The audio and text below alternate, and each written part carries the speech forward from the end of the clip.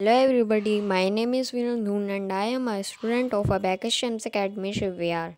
Today I am going to do 2 into 1 multiplication 5 sums in 100 seconds. So let's start.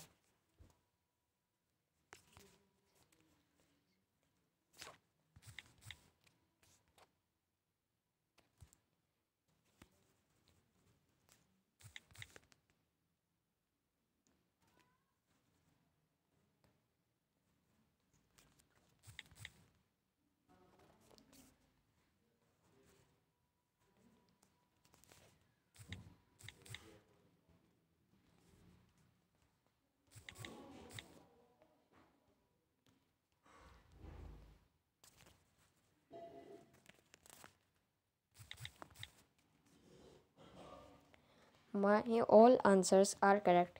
Thank you.